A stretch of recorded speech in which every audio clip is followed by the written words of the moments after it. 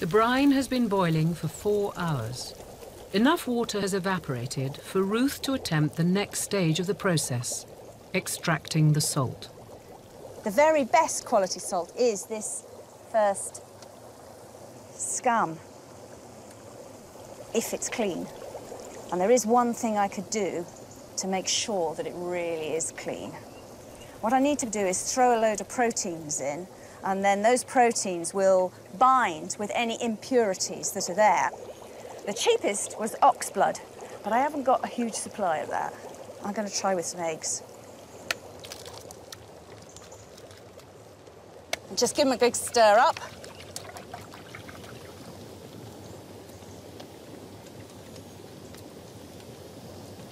It's certainly gathering bits together in larger clumps.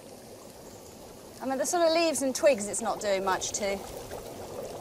But it does look like it's taking some of that funny colour out. Prices for salt varied depending on its purity and whiteness. There were different grades of salt, with the greyest and cheapest used for household cleaning, and the whitest being reserved for salting cheese. That is looking much cleaner.